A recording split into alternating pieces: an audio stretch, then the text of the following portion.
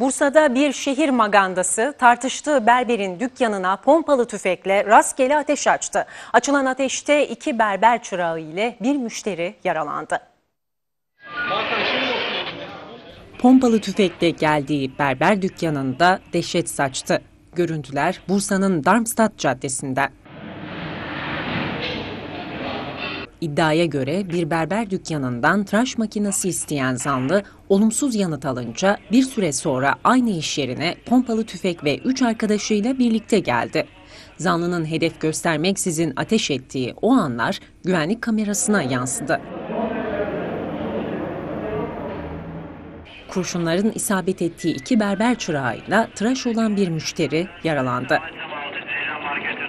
Yaralılar ambulanslarla hastaneye kaldırılırken görüntüleri inceleyen polis zanlıların peşine düştü.